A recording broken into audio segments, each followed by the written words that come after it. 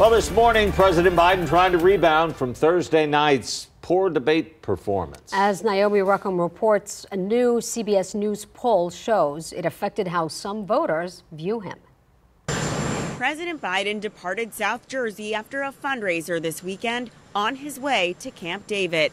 CBS News has learned he's had conversations there with family members who are urging him to stay in the race and keep fighting after his dismal debate performance. Some Democrats are also publicly voicing their support. Joe Biden is not going to take himself out of this race, nor should he. A new CBS News poll conducted after the debate shows 54% of Democratic registered voters say President Biden should be running for reelection, and 46% say he should not, a 10% shift compared to February. Of those who think he should not, the top reasons are age and decisions he might make in office. Some Republicans say the debate is proof the president is experiencing cognitive decline. If you want to look at past performance to judge what's going to happen in the future, God help us all if Joe Biden gets reelected. Another factor in the election is the pending Supreme Court decision expected later today on whether former President Donald Trump has immunity from criminal prosecution.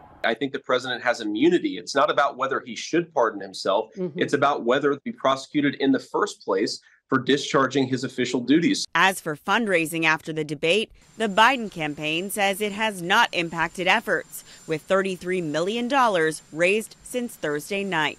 Naomi Ruchim, CBS News, New York.